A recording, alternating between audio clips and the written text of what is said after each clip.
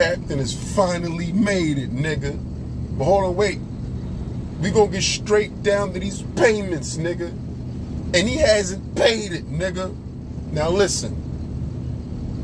This rumor, right, about Eazy and Remy that's been going on for months has not been addressed properly. That's why it's all out of control now. That's why everybody believes it's true.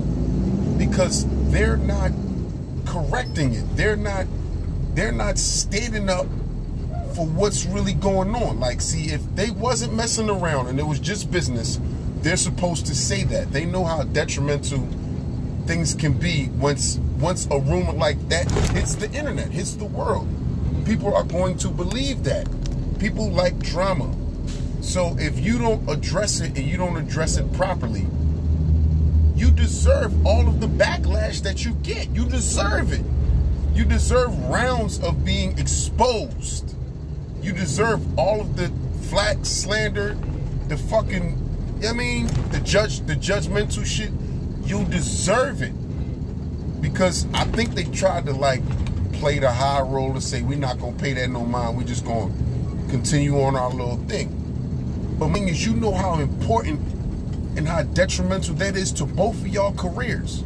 So if you did come out and say, I mess with him, like, what are you, like, what is she ashamed?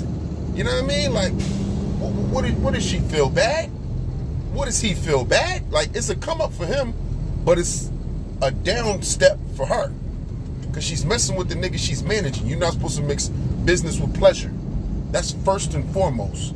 So that's messy coming into it. You mixing business with pleasure.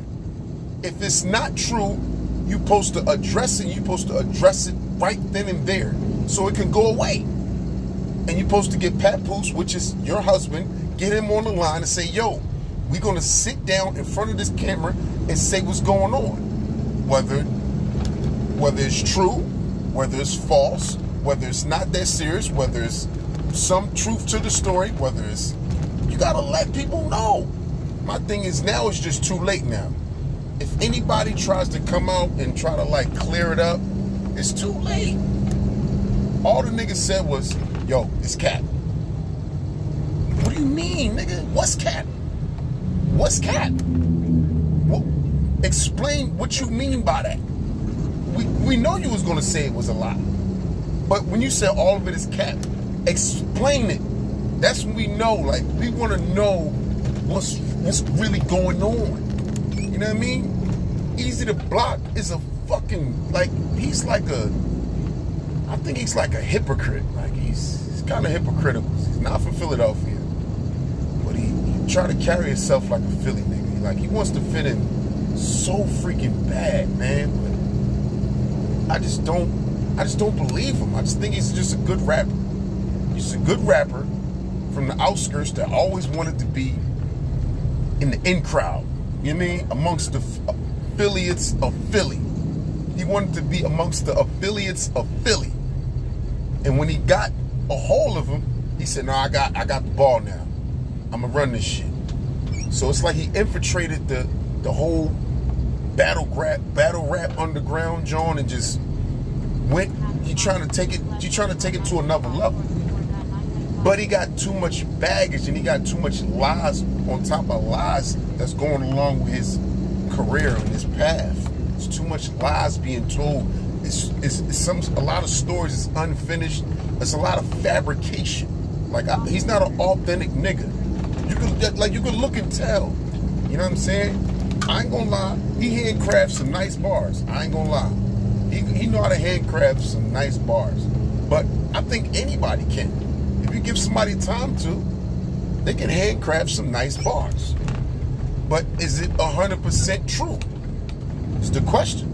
Motherfuckers want to know how true your bars is, and that's how they judge if you hot or not. They don't care if you if you hot. They care if your if your shit is true or not. Now he convinced everyone, and he got a buzz, and he got you know he got a lot he got he got a lot of leverage in the game. So motherfuckers is on his they on his wave. They gonna ride his wave. Remy, Remy is a bag. Anything attached to Remy is a bag. You know what I'm saying? You can't lose when you under the wing of Remy. But now he got under the people under the wing of him. That's making him feel like he more of the shit. But really, he ain't shit. He ain't shit. He's just a good rapper. He's just a good rapper. You know what I mean? And he and he's very he's very persuasive. And he and he studied he studied Philly niggas to the T, and he got it. I mean, I, I think he I think he's a cornball. You know what I mean? Respectfully, like personality, well, I think he's a cornball. You know what I mean? But that's here no there. But you know the vibes, man. Throw up a sign, I shall arrive. You understand me?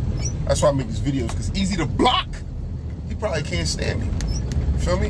Why would I come on a platform like this and not give you the real me? When that nigga Eazy the Block is filthy. I tell my haters, hurry up and die, bitch. Take too long. Brow.